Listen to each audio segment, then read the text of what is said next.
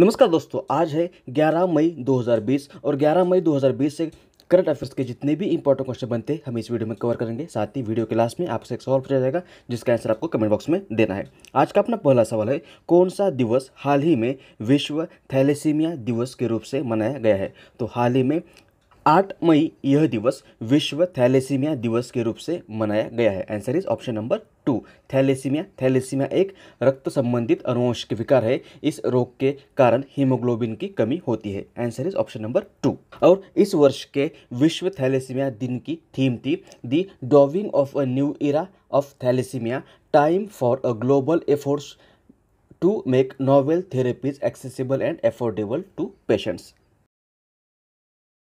अगला सवाल, कौन सा दिवस हाल ही में विश्व प्रवासी पक्षी दिवस के रूप से मनाया गया है? तो हाल ही में 9 मई यह दिवस विश्व प्रवासी पक्षी दिवस के रूप से मनाया गया है। प्रवासी पक्षियों के बारे में जागरूकता बढ़ाने और उनके संरक्षण के लिए ज़रूरी अंतर्राष्ट्रीय सहयोग के महत्व के बारे में जागरूकता निर्माण करने के उद्देश्य से हर साल 9 मई यह दिवस विश्व प्रवासी पक्षी दिवस मनाया जाता है और इस वर्ष के इस दिन की थीम थी birds connect our world answer is option number three next विदेश में फंसे लोगों को देश में लाने के लिए भारत सरकार ने कौन सा अभियान शुरू किया है? Answer is option number two Vande Bharat अभियान। हाल ही में लॉकडाउन के कारण विदेश में फंसे भारतीयों को स्वदेश लाने के लिए भारत सरकार ने वंदे भारत अभियान स्टार्ट किया है। इस मिशन या इस अभियान के तहत पहले चरण में तेरह देशों से करीब चौदह यात्रियों को भारत लाया जाएगा। Answer is option number two अगला सवाल मूडीज इस क्रेडिट रेटिंग एजेंसी ने 2020-21 इस वित्तीय वर्ष में भारत का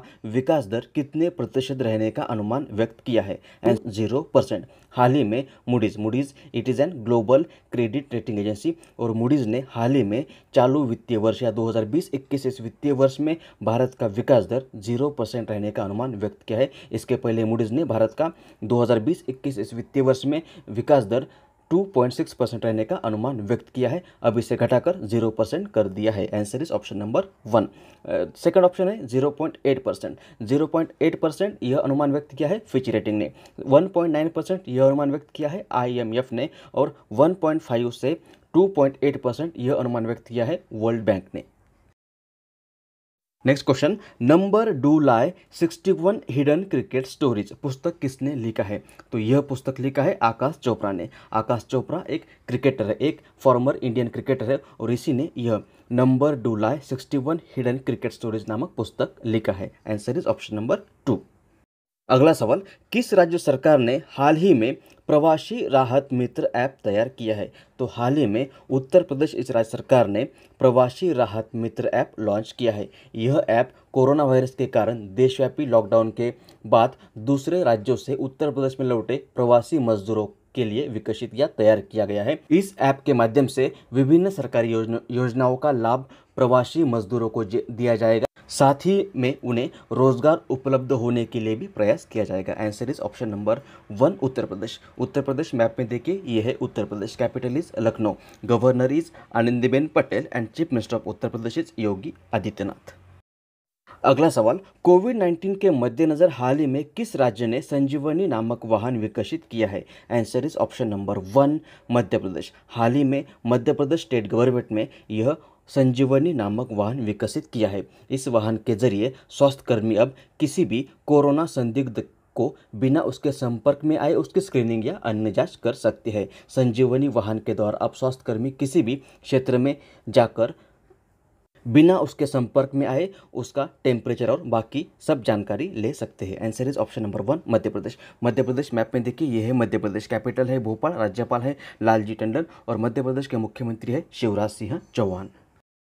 अगला सवाल, किस देश ने हाल ही में लॉन्ग मार्च फाइव बी अग्निबाण प्रक्षेपण किया है? Answer is option number two चीन। चीन इस देश ने अपने वेंगचांग प्रक्षेपण स्थल से स्थल से हाल ही में long march five B rocket का सफलतापूर्वक परीक्षण किया है। भविष्य में यह रॉकेट 2022 तक अंतरिक्ष यात्रियों को अंतरिक्ष स्टेशन तक ले जाने में चीन की मदद करेगा। Answer is option number two चीन। चीन मैप में देखिए, ये है चीन। चीन की कैपिटल है बीजिंग प्रेसिडेंट है जी जिनपिंग और चीन की करेंसी है रेन मेन बी अगला सवाल ए आई आई बी ने भारत को कोविड 19 से लड़ने के लिए हाल ही में कितने मिलियन डॉलर का ऋण मंजूर किया है? Answer is option number four पाँच सौ मिलियन डॉलर हाल ही में ए ने भारत को कोविड 19 की लड़ाई में मदद करने के लिए 500 मिलियन डॉलर का ऋण मंजूर किया है। What is A I I B long form of A I I B is Asian infrastructure investment bank it is an multilateral development bank इसकी स्थापना हुई थी 16 जनवरी 2016 में। इसका हेडक्वार्टर है बीजिंग, चाइना में और प्रेसिडेंट है जिन लिकर। अगला सवाल, पान मसाला में मैग्नीशियम कार्बोनेट की मात्रा पाए जाने के कारण किस राज्य सरकार ने हाल ही में अगले 12 महीने तक पान मसाला पर प्रतिबंध लगाया है? Answer is option number one Jharkhand. हाल ही में झारखंड स्टेट गवर्नमेंट में पान मसाला में मैग्नीशियम कार्बोनेट की मात्रा पाए जाने के कारण उनके राज्य में अगले बारह महीने तक पान मसाला पर प्रतिबंध लगाया है। मैग्नीशियम कार्बोनेट से हृदय की बीमारी सहित अन्य बीमारी हो सकती है। Answer is option number one Jharkhand. Jharkhand map में देखिए, ये है झारखंड। झारखंड की कैपिटल है रांची गवर्नर है द्रौपदी मुर्मू और झारखंड के मुख्यमंत्री है हेमंत सोरेन। और अब आज के वीडियो का सवाल, जिसका आंसर आपको कमेंट बॉक्स में देना है। क्वेश्चन इज़ किस शहर में हाल ही में देश की पहली कोविड 19 टेस्टिंग बस सुविधा शुरू की गई है? ऑप्शन आर बेंगलोर दिल्ली, मुंबई और लखनऊ। इसका सही उत्तर आपको कमेंट बॉक्स में देना है।